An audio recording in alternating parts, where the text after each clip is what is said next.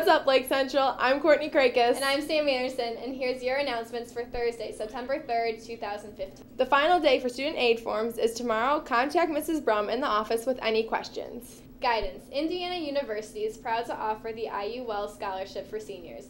This full ride scholarship is for any major. Applications are in the guidance office and are due no later than September 11th.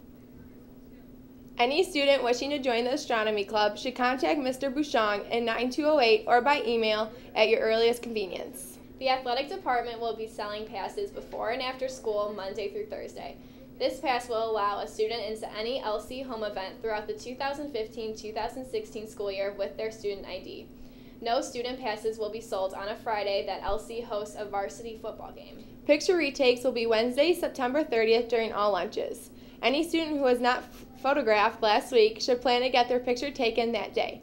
Order forms are available in the main office. Homecoming dance. Tickets are now on sale online, and seniors may pick up a date request form in the guidance or the main office. The first National Honor Society meeting will be held today after school in the LGI room. If you cannot attend, please see Miss York in room C209 to pick up information. Athletics. Reminder to students attending Friday's football game or any event at Lake Central. Your ticket allows you admittance into the game or events.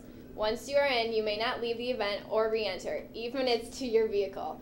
Nor are you allowed to purchase another ticket to gain entry. Please come prepared to the event.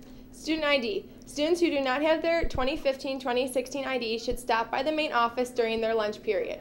All students must have their IDs by Friday, beginning Tuesday, September 8th. Any student requesting an ID will be charged $5. The next NTeens meeting will be Tuesday, September 8th in the LGI after school.